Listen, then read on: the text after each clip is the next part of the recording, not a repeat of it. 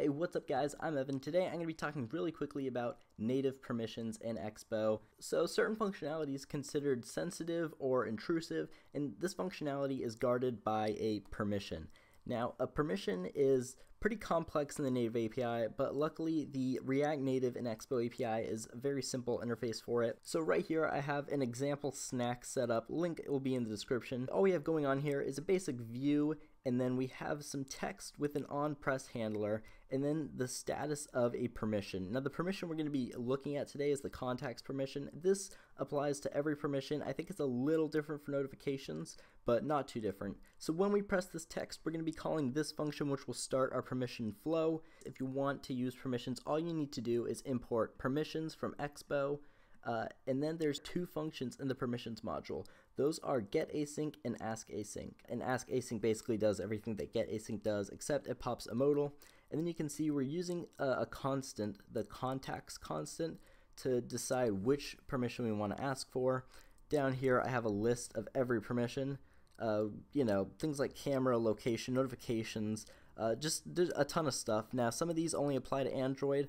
I uh, was too lazy to actually list which ones, but you can find them in the docs, uh, which link will be in the description. Now, ask async and get async will both evaluate to the same value, which is a promise that has this status value deconstructed out of it. So this value status can evaluate to granted, undetermined, or denied. Uh, undetermined means that the user has not been prompted yet.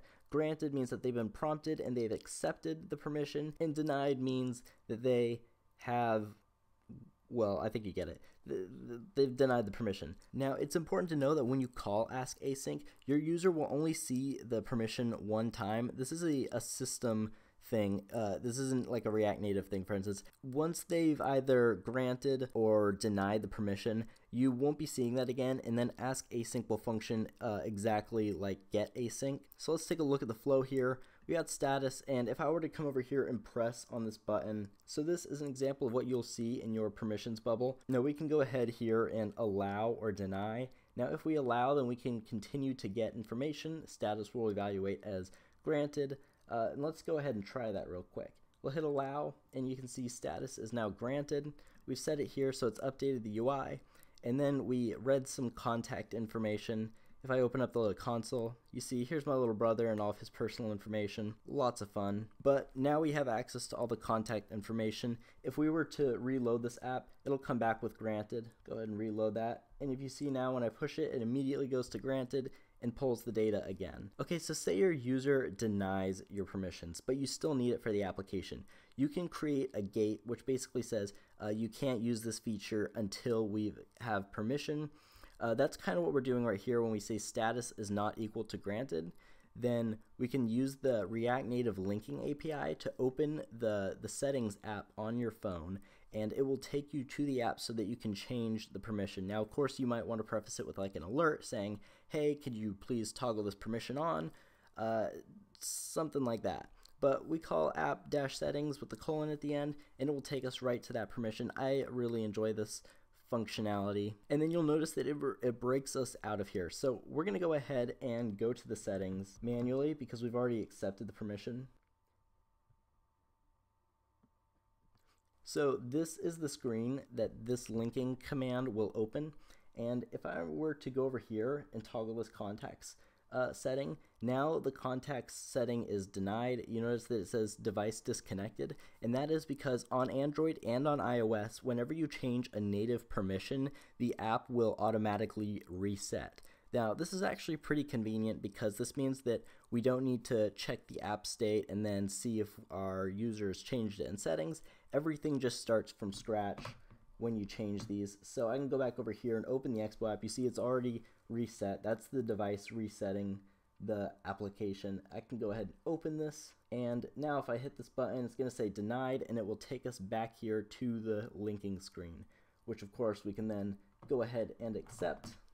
Go back, you'll notice it's reset again, open back our application and we can grant it the last thing I want to talk about is changing the message on iOS. Now, this is very important. If you were to build a standalone application and upload to the App Store, uh, you need to explain exactly why you're using the permission, otherwise, Apple could reject your application. And to do this, you would go into your app.json, and here I've got kind of a kind of a pseudo app.json just because I was too lazy to make the file. But imagine this was the app.json right here. You're going to have the expo field, the iOS field, and then the info plist field.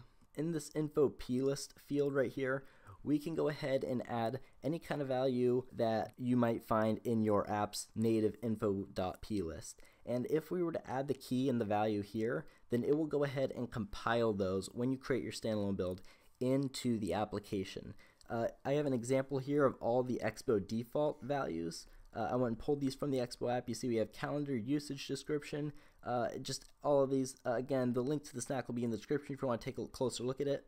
Uh, but for instance, allow Expo experiences to access your contacts. You could change this to whatever value you want, and then when you build it for the App Store, it will show up in that bubble, and that will help prevent your app from getting rejected. So I definitely recommend you do that. Uh, you don't need to do this on Android because the Play Store is a lot more lenient, uh, which is cool. Alright guys, that's it for the permissions module. I hope you enjoyed this video. If you did, be sure to leave a like, and I will see you in the next video.